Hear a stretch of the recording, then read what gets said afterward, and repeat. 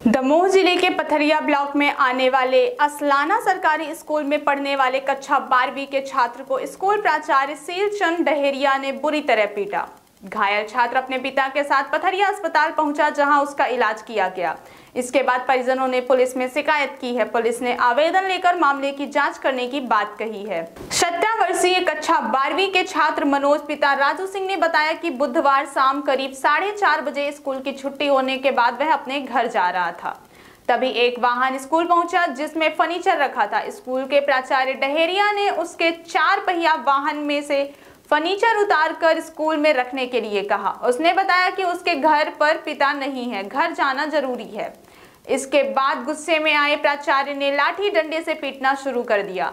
उसके दोनों पैरों में चोट आई, खून भी निकलने लगा। अस्पताल के डॉक्टर सत्यम सिंह ने बताया कि छात्र के दोनों पैरों में चोट आई है। उसका इलाज कर दिया गया है। छात्र ने अपने पिता के साथ पथरिया थाना पहुंचकर शिकायत की। थाना प्रभारी रजनी शुक्ला ने बताया कि आवेदन की जाँच करने के बाद प्राचार्य के खिलाफ कार्यवाही की जाएगी। हम ममरखा के निवासी सर, हम असलाना स्कूल जाते हैं, हाई सेकेंडरी स्कूल। सर, वहाँ डहेरिया, सर सीलचंद डहेरिया प्रिंसिपल है सर, उन्होंने छुट्टी समय सर फर्नीचर आया था सर। तो बोला, उतरवा के जाना, हमको सर घर पर जल्दी जाना था सर। तो मम्मी घर पर अकेली हैं।